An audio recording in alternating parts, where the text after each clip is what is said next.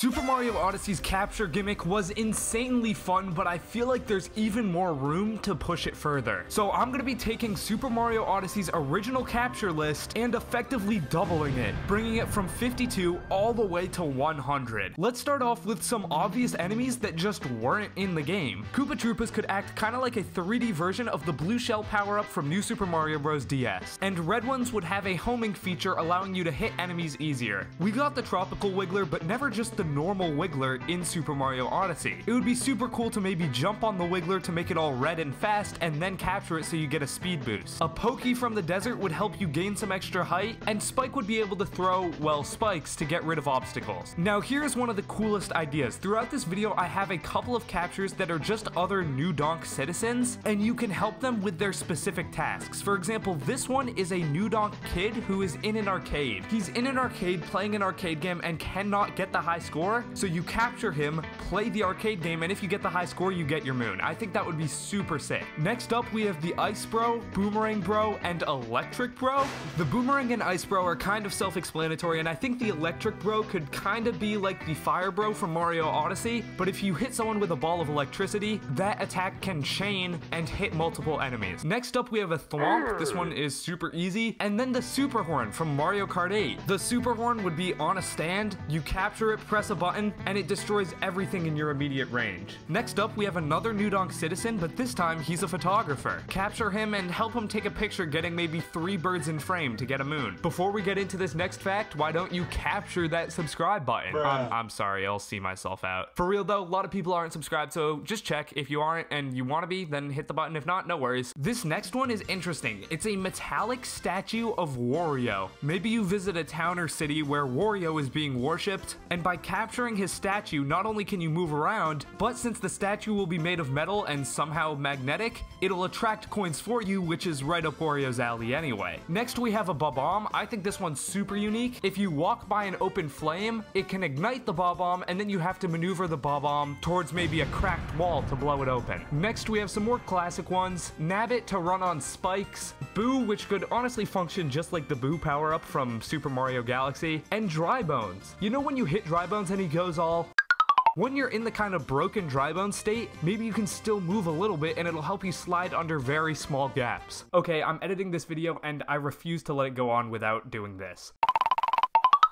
There we go. Okay, I just I felt wrong not having him go back to normal. Next up we have Shy Guy and then Captain Toad. It would be super cool if you could capture Captain Toad by maybe knocking off his headlamp and then you could do a little Captain Toad style mission in Mario Odyssey. I was going to then put Captain Toadette here as well, but for the 20th new capture, I want to go with Builder Toadette. In Super Mario Maker 2, Toadette is able to like place down blocks when she gets the Builder power up, and I think having a capture focused on kind of creating like boxes that you can then use to platform off of, I think that's a super unique idea. Next up for mobility, we have the cats from Bowser's Fury. These cats were really cool, but they didn't really do too much. There were a couple missions with them, but that was about it. Maybe by capturing them, you essentially get the cat power up from Super Mario 3D World so you can climb up walls and whatnot. Speaking of Bowser's Fury, Bowser Jr. in the Clown Copter is a must. You would 100% have his paintbrush, and maybe you'd have to go either cover up graffiti or just place graffiti, and that could be the challenge. Next up, we have an ice bubble. The fire bubble from Luncheon Kingdom was one of my least favorite captures in all of Mario Odyssey. I thought it controlled terrible, and it was the one part of Odyssey I genuinely did not enjoy.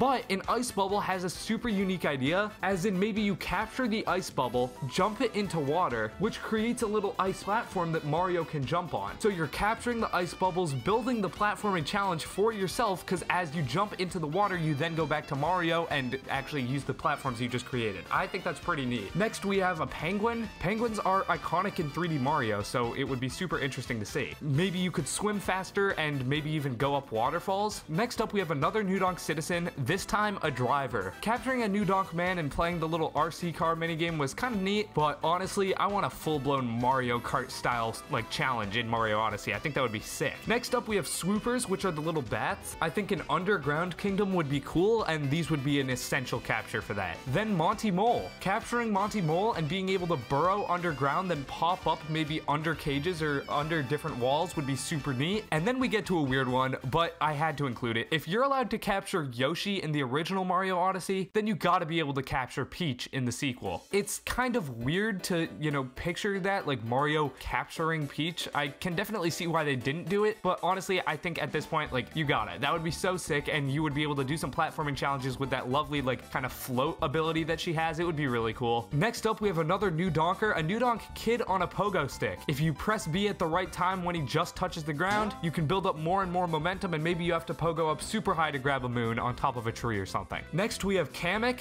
who would be able to fly and shoot her little spells. Then Plessy. Whatever sort of water kingdom this would be in, it, Plessy would be an essential. I, like, I'm shocked we didn't get to, uh, any sort of Plessy or Dorrie capture in Mario Odyssey. Like, that would be so cool. Then we have the lava hippos, which are these things from 3D World, and then a plane. I know it sounds weird to capture an entire plane, but A, you captured a rocket in Mario Odyssey, they made that work, and B, planes are pretty big in Super Mario Land, so just capture this specific plane. Next, we have someone skiing down a mountain. I love the Snow Kingdom, but I would love to see a mountainous Snow Kingdom for whatever we're talking about here, sequel, DLC, whatever. Then capturing someone skiing going down it, dealing with all that speed and momentum would be really, really neat. Next up, Donkey Kong. Screw you, I want to swing from in a jungle-themed kingdom, Donkey Kong's essential capture. This next one might be honestly my favorite in the entire thing. So if you remember in Mario Galaxy, the Toad Brigade was always at the Comet Observatory, but one of the Toads, being Yellow Toad, was always super tired. He was super sleepy, and I think that's really cute. So what if you find Yellow Toad sleeping in a minecart underground? Then you capture the Yellow Toad and are able to control the minecart. It would be a really unique way to like travel from place to place, and it kind of tracks because Captain Toad has used minecarts before, and it makes sense to capture Yellow Toad because he will definitely be asleep on the job. Next up, we have Boom Boom, and you can't have Boom Boom without Pom Pom.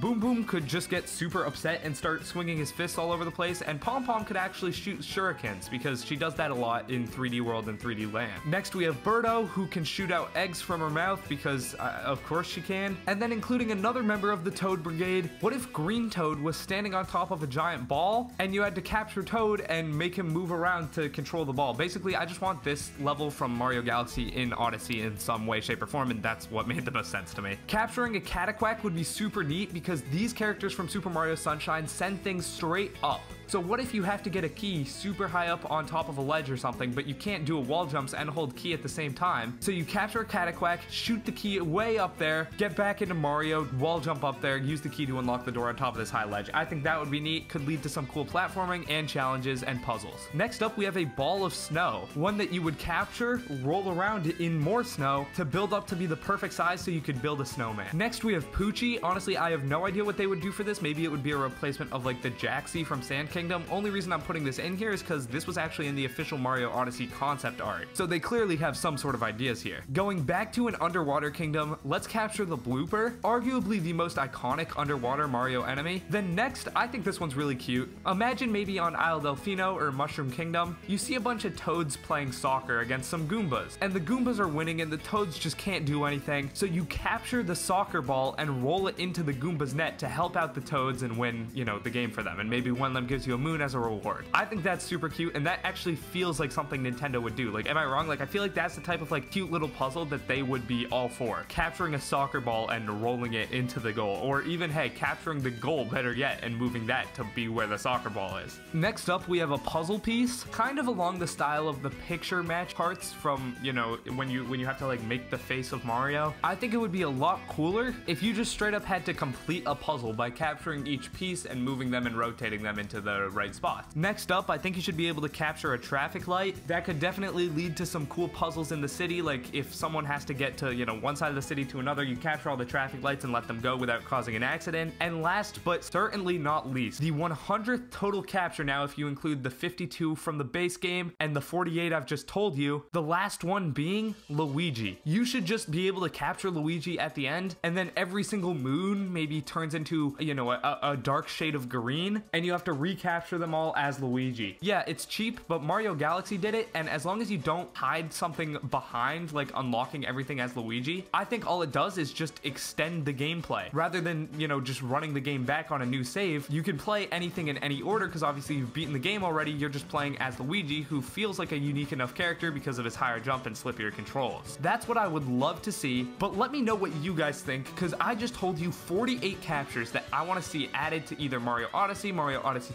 2. If somehow that game gets DLC, I don't know, but let me know down in the comments below. If you enjoyed this video, click the one on screen right now. It's about the Nintendo Switch's biggest controversies, and it didn't get many views, but honestly, it's probably one of the best videos we've ever uploaded, so I really like it, so go watch it if you haven't. With that out of the way, I'll see you in the next one. It's Thomas signing off. Peace.